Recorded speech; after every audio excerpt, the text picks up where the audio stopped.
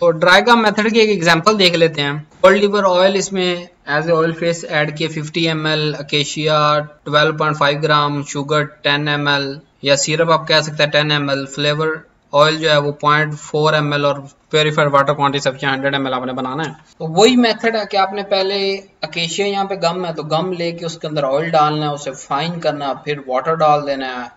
जितना पार्ट हमें चाहिए, फिर फ्लेवर ऐड करना है, उसे मिक्स करना है सिरप ऐड करना है, उसे मिक्स करना और लास्ट में फाइनल वॉल्यूम अपने बना देना है। तो do not forget to subscribe my channel press the bell icon to get more latest videos share with our student family of pharmacy thanks for watching Allah Hafiz